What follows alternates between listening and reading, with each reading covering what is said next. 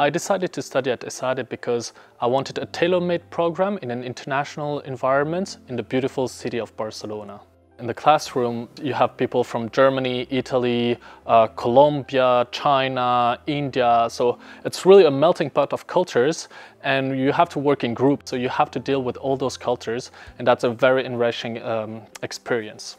So ESADE prepares us as well to go anywhere in the world and also with the alumni network ESADE has, which is incredible. So you, it's very easy to connect and then you can just go on LinkedIn. It's like, oh, you studied at ESADE and that's just a first uh, open door to, to talk to people. So this network prepared me as well to go anywhere in the world and be ready to work anywhere. So I had the opportunity to go to Dubai. So it was a, a collaboration with the American University of Dubai.